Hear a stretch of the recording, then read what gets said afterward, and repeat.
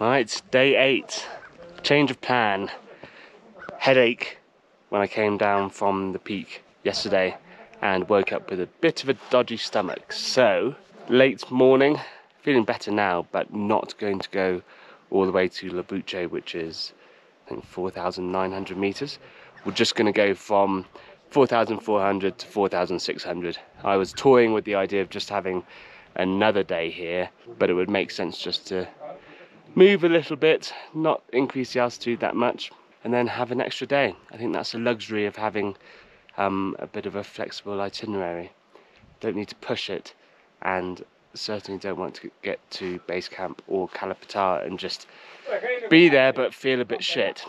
Um, I'd rather take my time and feel better.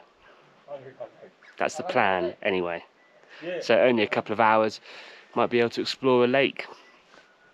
Feeling much better than I did this morning. I was feeling pretty. Uh, I wasn't feeling terrible. I was just a bit dodgy, which is never fun.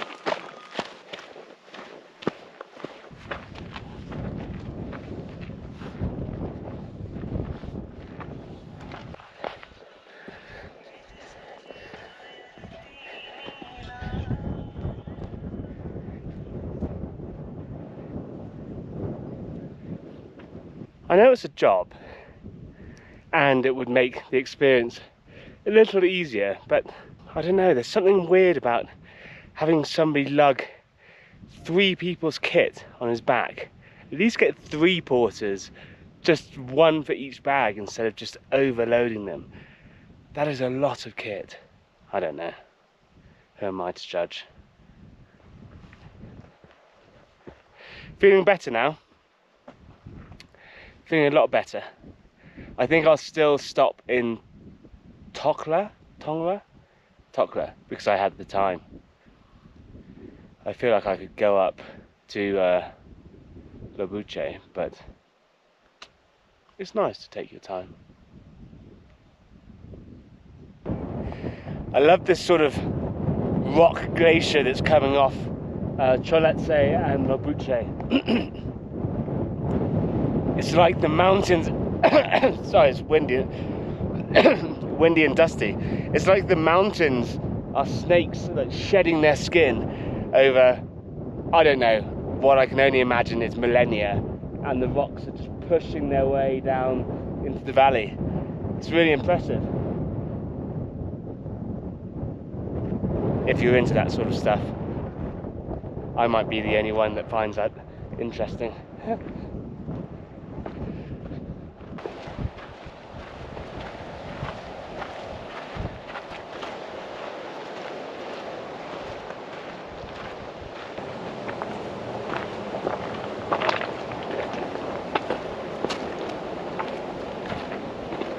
real ankle breaking territory. Let's find the way through the frozen river. Semi frozen.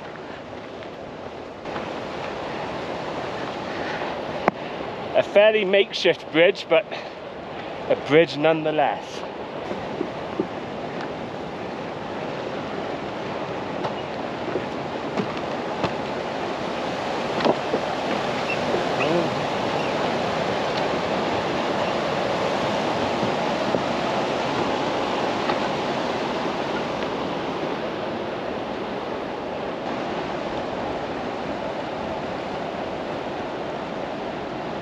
This is us. I feel really good. Maybe have lunch, wait an hour or two, see how I feel. At the moment, I want to carry on to Lobuche. Who knows, maybe I'm so hypoxic that I don't realise that I'm buggered. I don't think so. We used a pulse oximeter, the one finger things, earlier. Now it's at nearly 90%, so I'm no doctor, but Ganesh!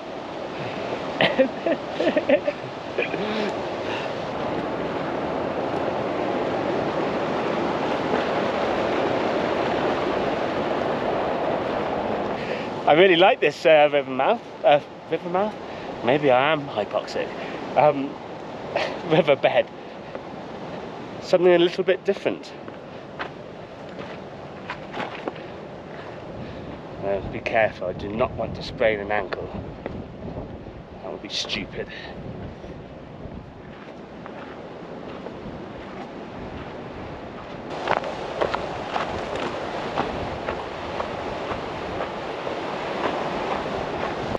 So the call has been made. We're staying here today.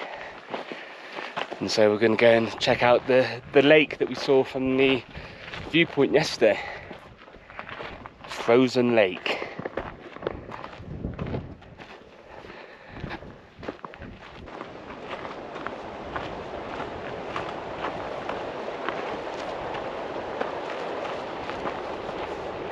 You can see it better here the rock glacier as I called it earlier. I think it's called a scree slope. You see the mountain just turning into this rock rubble. Um, and you can see it better on Ama Dablam. It looks like the mountain's just disintegrating into this slope. I'll get a shot with the big camera, but it's uh, it almost looks fake. It looks like the mountain's just turning into dust. This is one of the better views we've had apparently as you're climbing up to Lobuche, it gets even better. But that will be tomorrow.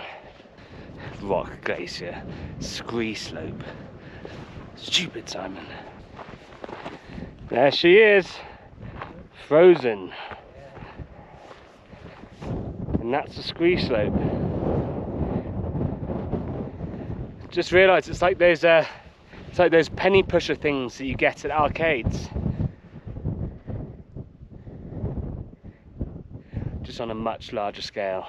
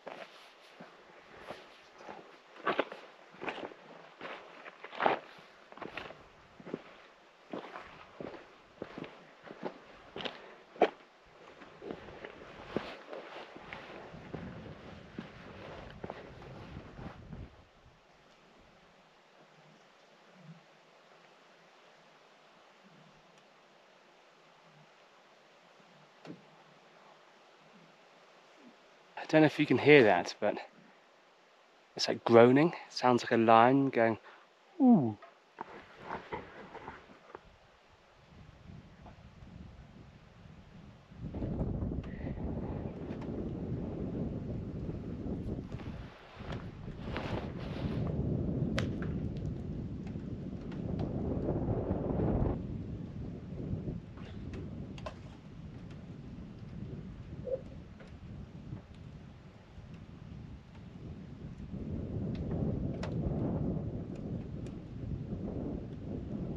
Maybe it's just me, but I love this.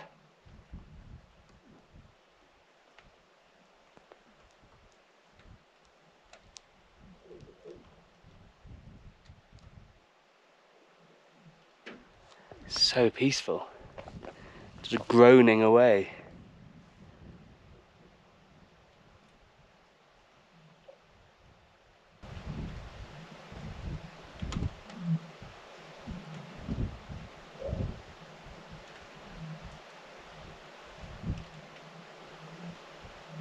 would highly, highly recommend coming here. I'm going to come here tomorrow morning when the sun's on it. It's just, look at that. What? You've got to be kidding.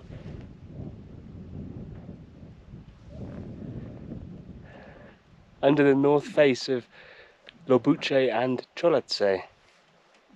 They look pretty unhospitable faces, especially Lobuche.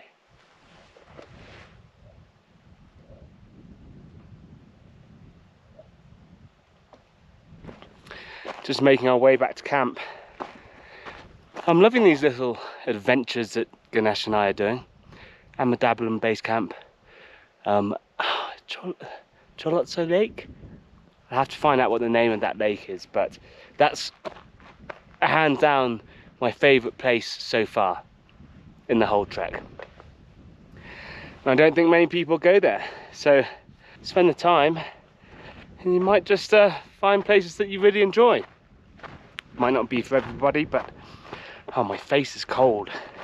Hard to talk. Might not be for everybody, but I mean, I think you'd be hard pressed not to like that scenario. Frozen lake beneath the north faces of Tomb in their 6,000 meter peaks. Very good.